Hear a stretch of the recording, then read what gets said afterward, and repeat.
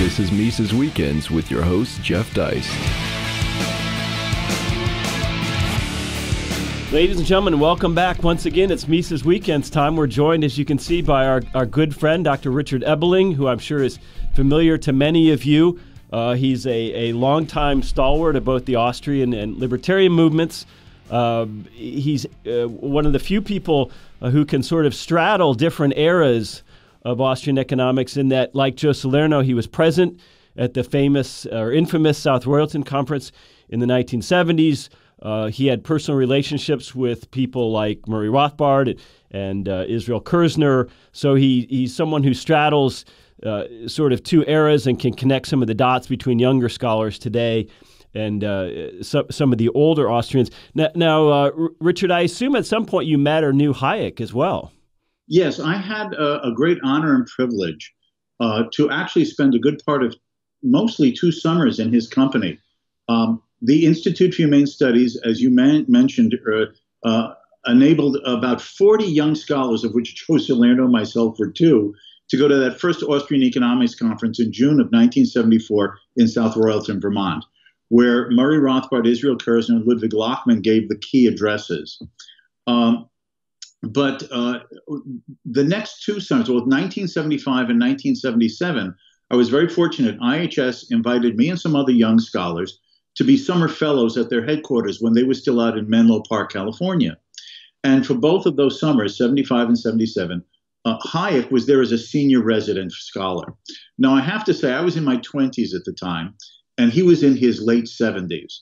Now, in my 20s, the 70s seemed like ancient. I figured he was going to die any second. You know, he might not show up tomorrow. Of course, like like Mises, he lived into his 90s. So I would go in, since his office was only one or two doors down from mine. Uh, every day that he was in, I would go into his office and for about an hour and a half bug him because I would want to get the old Vienna stories, his battles with the Keynesians and the socialists over economic calculation and so on. And uh, uh, he was a, a, delightful individual. We can praise him as as an Austrian, as a scholar, just as a good economist, of course. But personally, he was like the epitome of what you think a Nobel laureate should be: gracious, friendly, patient, open. And I'm sure that there were questions I asked him that he had heard a thousand times during his career. Mm-hmm. He treated it as if he was hearing it for the first time. I view that as a great honor to have had that opportunity to interact with him for those two summers. Well, we as as Austrians or Austrian friendly people, we we often look at South Royalton as kind of a rebirth or a renaissance uh, of the Austrian school. And uh, at, at, this most recent Mises University, one of the things we were talking to the young people about, especially those who are interested in becoming PhDs or academics, was that hey, things are a lot better now. You have a lot more opportunities as an Austrian friendly uh, economist than uh, the Salernos and the Ebelings had in the 70s and 80s because the universe has expanded. But let me ask you this as devil's advocate the population's expanded, the internet's expanded, lots of things have expanded. Do you think Austrianism is in is in better hands and better shape than it was at the time of South Royalton, or are we still swimming upriver, so to speak? Uh, if I can uh, begin the answer to that by the opening line from Dickens' The Tale of Two Cities. It was the best of times and it was the worst of times. Uh, it's the best of times because uh, when I think back, when I got interested in these ideas, if I can mention it, when I was in my teens, I first found out about this free market, classical liberal Austrian literature when I was like 16, 17 years old. I knew I wanted to major in economics before I even got to college and had a shock when my first economics class was taught by a Keynesian using Paul Samuelson's economics book. I said, this is not the Mises Hayek and Henry Hazlitt I've been reading on my own. But, um, uh, and, and uh, the, the, except for, for example, the Foundation for Economic Education, which of course was always fostering and cultivating an interest in Austrian ideas besides libertarianism in general, uh, there were very few outlets. Uh, th- there was Murray Rothbard's Libertarian Forum. Uh, there was Human Events that would reprint Henry Hazlitt's Newsweek or Los Angeles Times columns when he was when working for them. But uh, uh, I used to pride myself that I could read everything coming out from the right, broadly defined. But that's because there were like three books a year and three magazines. Even a slow reader with dyslexia can get through that.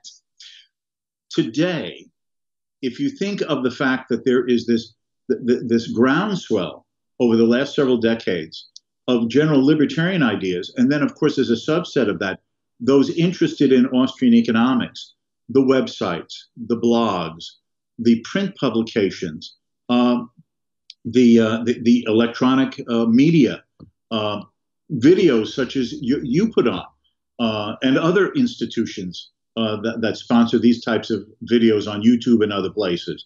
Th- th- this this is a sea change of, of interest and availability of, of these free market ideas. If I can just give one more comparison of this, uh, when I when I first met Ludwig Lachmann at that first Austrian conference in, in June of 1974, uh, I would take little walks around the, the, the, town square with him. And he mentioned, which he had done several times before, that uh, he thought that he was going to be the last of the Austrian economists. In other words, the school had died out. And uh, Mises had recently passed away. Hayek was obviously more into political philosophy, or in fact not writing much at all at that time before the Nobel Prize. And he felt that he was going to be the last Austrian. That that was that was the, the impression. Today we have multiple uh, uh, website organizations, think tanks, and intellectual movements such as yours. And uh, I, I'm, I'm saying this not because you have graciously invited me to be a guest. The Mises Institute has done yeoman's work in advancing the ideas of liberty in general and fostering the ideas of the Austrian school, and of course, Mises in particular. The online book presence, the availability of, of reprints of otherwise long lost volumes and articles, your, your daily stream of material, programs like the one that, you're, that you've kindly had, uh, had me come on to today. Th- th- this is a sea change. So that in spite of the appearance, particularly in academia or in the political arena, we seem to be losing. Where's the advance? This is this is a groundswell of a renaissance for liberty in general and Austrian economics in particular. And again, if I can just mention, Jeff, one more point on this. Uh, let's recall Hayek's article from 1948 on the intellectuals and socialism, in which he said, if you think you're going to change the politics of today from its statist trends, you're not going to have much success because the politics of today reflects the political and ideological and philosophical currents of several decades ago it, it, it's sort of like a lagging indicator. The politics of today is a lagging indicator of the of the intellectual currents of, of the past.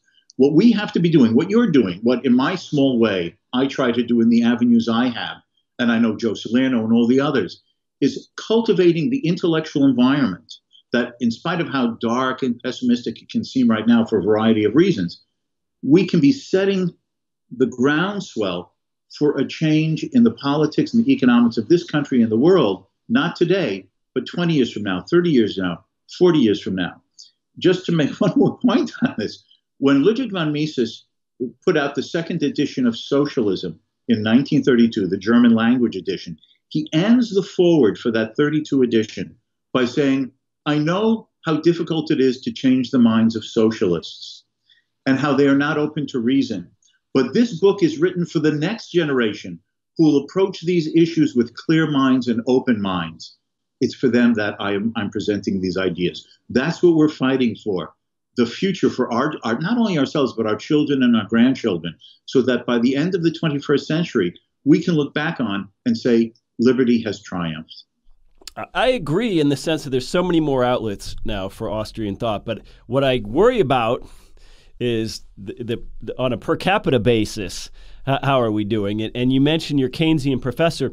Let's dial back for a second and sure. talk about economics more broadly as a profession in the mainstream. The, you know, the public's perception of economics is probably that uh, it's pretty useless, and there's the the Paul Krugmans and the uh, Pikettys out there uh, giving cover to let government do what it wants to do. Um, is economics as a profession doing any good? Is it serving humanity at this point, in, in your view? Uh, I find myself torn, uh, and that is uh, I'm an economist by profession, and I like to think vocation. Um, and I believe in the power and, Im- and impact of understanding economics. It's why I never get tired of teaching a principles of economics class to introduce young people who've never heard these ideas, may never hear them again, to understand this economic way of thinking. Um, but in the profession as a whole, unfortunately, uh, the mainstream, as it's sometimes referred to, the neoclassical general equilibrium mathematical approach, the, the, the still dominant Keynesian aggregate approach to macroeconomics, regardless of the different names of the schools of thought. It's, it's all the, the, grandchildren of that Keynesian framework. Uh, they're defunct. They're irrelevant. They don't speak to, to, to the nature of man, society, and reality. They don't have an explanation of why the world works the way it really does. Uh, so, unfortunately, they, they, are at a dead end uh, as far as I'm concerned. But that is what makes so it makes so much more important than these that these other avenues and and the, and these subgroups of which the Austrian school is, as we talked about, much larger than it was in 1974. Important because we we're able to articulate ideas that explain and are consistent with the reality. We don't make these rarefied assumptions, these unrealistic postulates. We talk about man as he is, an acting, willing, intentional being who has less than perfect knowledge and is interacting with his fellow men for mutual improvement.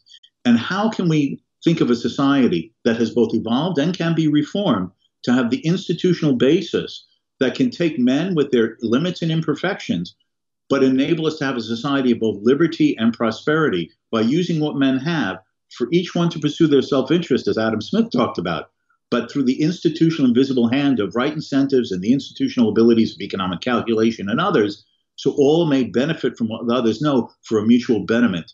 That, that is what classical liberalism and libertarianism has given the world for 300 years, however imperfectly through a glass darkly. Well, when we look at, at economics today, maybe we fall into this trap. We, we think of it as influenced by left or right or capitalist or socialist. Maybe the real divide in economics today is really methodology. It's, it's viewing people as human beings and, and who go out and do crazy, irrational things sometimes, or viewing them as uh, atoms that need to be empirically tested. Is, is that is methodology still the, the thing that separates Austrianism from heterodox or I'm sorry, orthodox economics? To a great extent, I think you're absolutely right.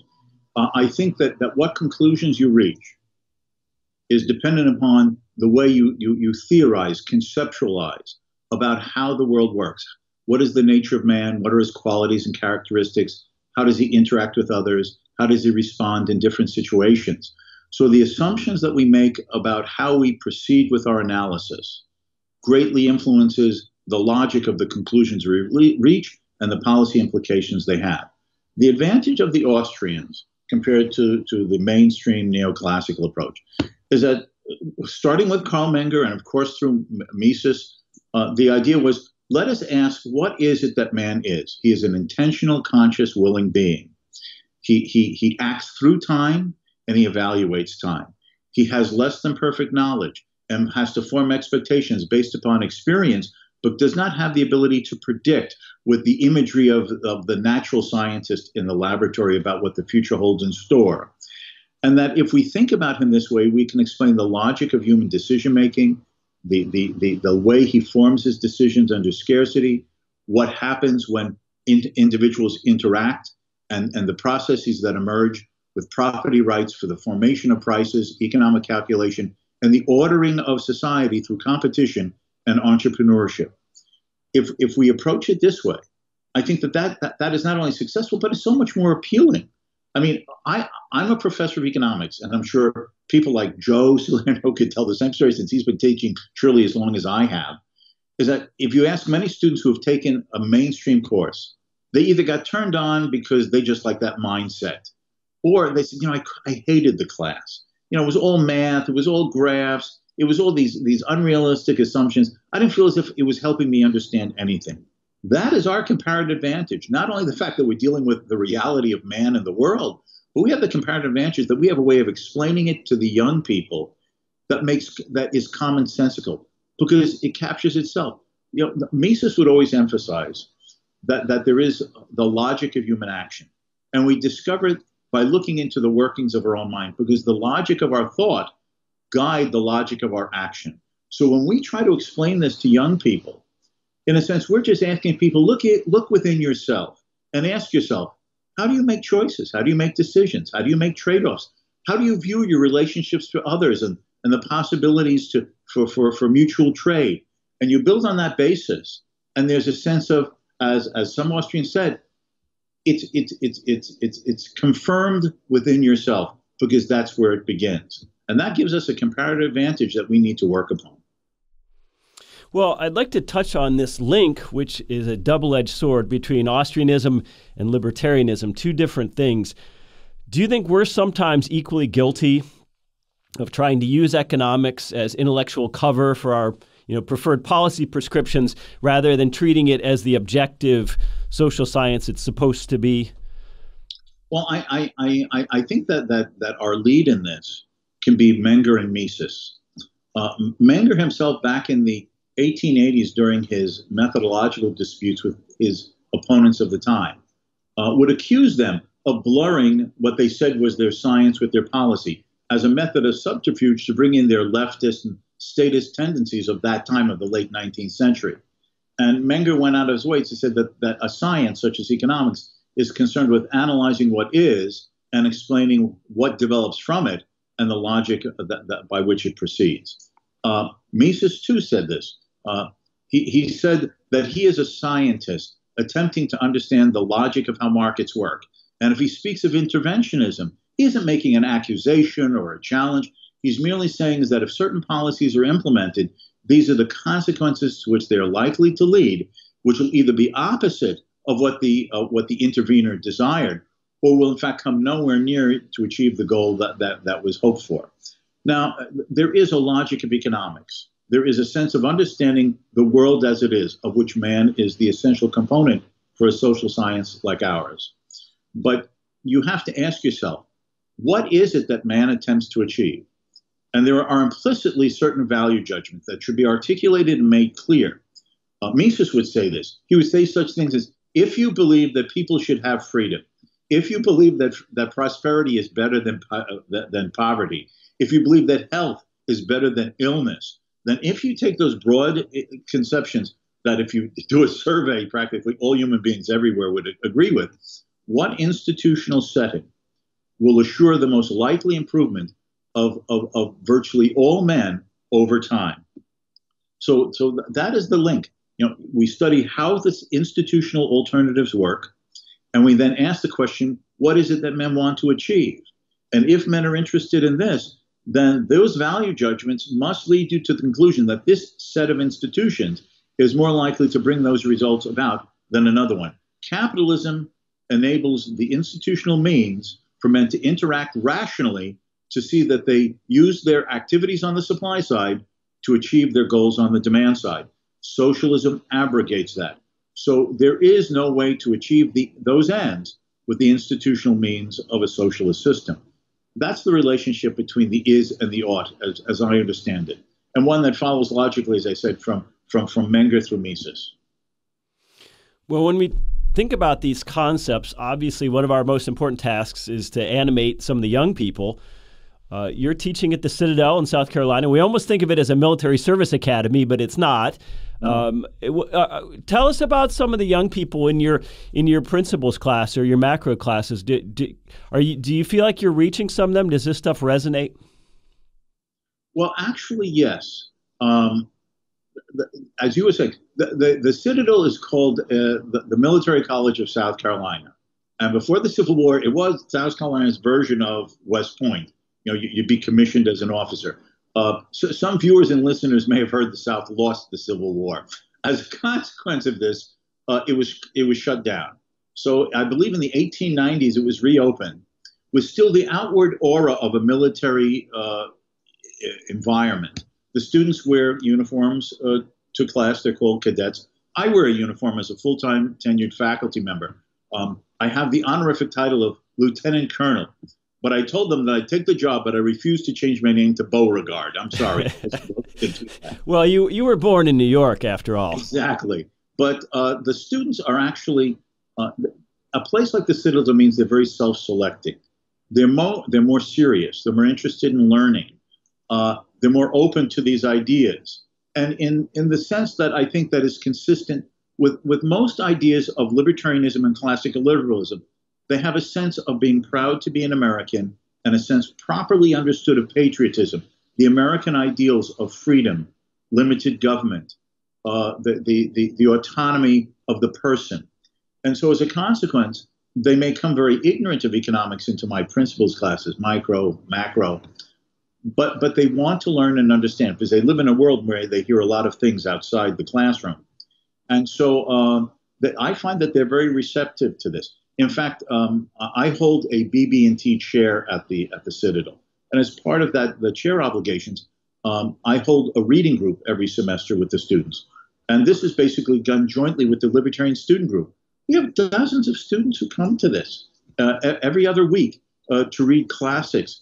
Uh, we did the law, Bastiat's the law. We did Hayek's Road to Serfdom. We've done things by Mises as well as others, and they're open and receptive to this. And so these young minds are leaving there better informed for whatever career track that they pursue, but with the, the philosophical background in the back of their mind that there are these essential ways of understanding uh, the, the market economy, and without which they, as future businessmen, because economics is taught at the Citadel and the School of Business, as future businessmen, they will not have the chance for all that they could achieve as enterprisers, and they could easily be sucked into crony capitalism if they don't understand the dangers of that as well.